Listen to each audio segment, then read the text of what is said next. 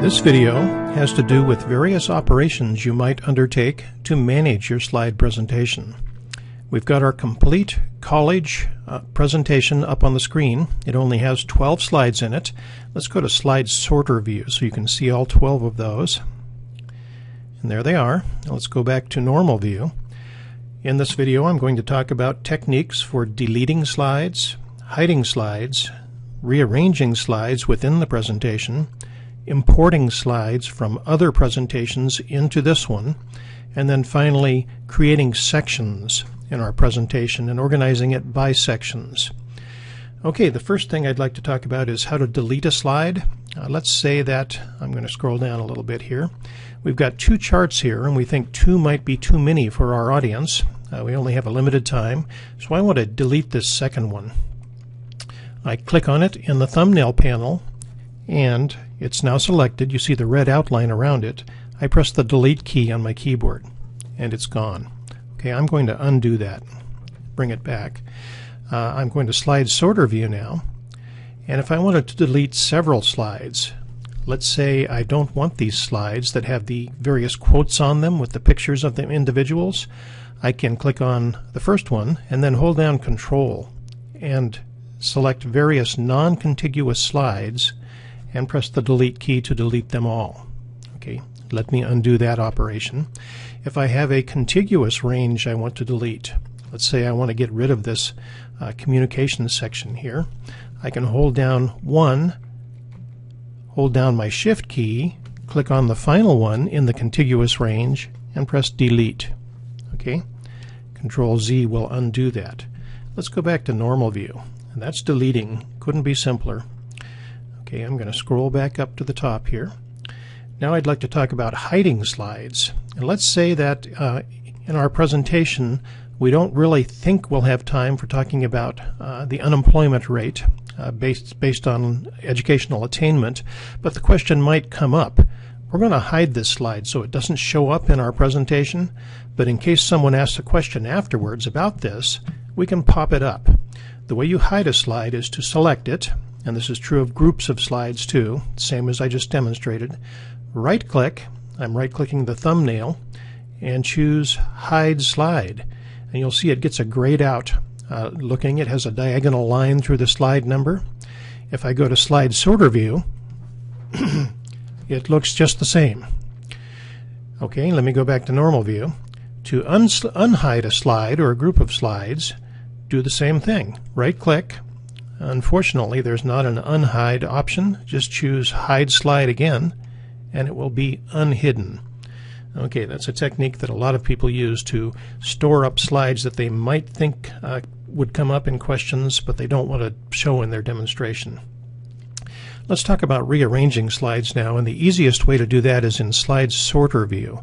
So let's go there, and let's say I want to take this uh, communication section here. I'm holding down Shift and selecting these two slides, and I want to make it uh, the, uh, the first thing right after I talk about earnings power in this presentation. I can uh, hold down my mouse, click the mouse button, drag, and drop right here. Okay, you see I've dropped them right after this earnings section, and um, it's just that simple.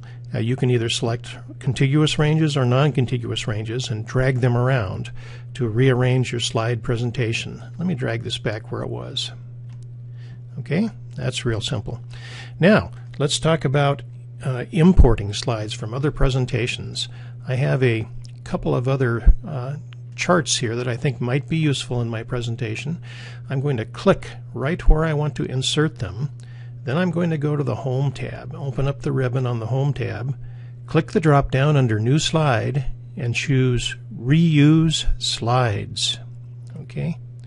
A Reuse Slides panel will open. I have two choices. I can open a slide library, and that only pertains if you have a SharePoint uh, installation. We don't have one at our school, so I'm not going to talk about that. I'm just going to open another PowerPoint presentation. Let's click that. Let's choose that other presentation, this one called College Earnings. And thumbnails of the various slides in that presentation will uh, show up right here in the Reuse Slides panel. And you have to click them one at a time to insert them, and it will be inserted at the insertion point. So I want one called the long run. Okay, and you notice it adopted the uh, target formatting, the, the, the theme that I'm using here. If I wanted to retain the source formatting, I would put a check in this little box that says keep source formatting. I don't want to do that, however. I want to uh, have it adopt the theme formatting, so I'm going to click right after that one and insert this other theme too that talks about return on investment for college education. Okay, so that's how you insert slides or import slides from other presentations. Let's go ahead and close that. And finally, let's talk about slide sections. Uh, to build sections, we can do it right here in the thumbnail pane, or we can do it in the slide sorter view. Let's do that. Uh, let's call this section here. I've clicked to place my insertion point, chosen Add Section, and then it, it's a two-step procedure. You have to right-click the section you've just added and rename it and call it uh, whatever you want. Intro is what I'll call this one. Okay. Now let's click right after that intro section, right-click, add a section, right-click that section title, and rename it to Earnings. Okay, bear with me as we do this here. Now let's go ahead and click right here, create another section, right click that and rename it to Knowledge. Okay, right here, do it again, rename it, and we'll call this one Critical Thinking. And finally, right click, add a section, and let's call this one communication.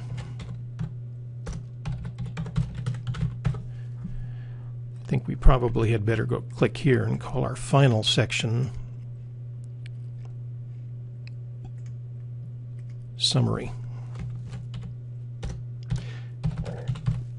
Or call to action or something along those lines. Okay, we've got all of these sections now and we can collapse them uh, if we choose independently. Makes it easier to work with your presentation. And then you can rearrange them. If I want to take communications now and make it come right after earnings, it's just that easy. I can drag them around. Or I can do the same thing back in normal view. Let's go ahead and collapse that and move communications up here. You see, this way, and this is especially relevant in presentations where you have a great many slides, uh, you, dividing them into sections means that you can expand or collapse the various sections and work on them independently. Okay, this was a little bit uh, long uh, as, as far as videos go, but we did cover five different techniques for deleting slides, hiding slides, rearranging slides, importing slides, and creating sections. Thanks for listening.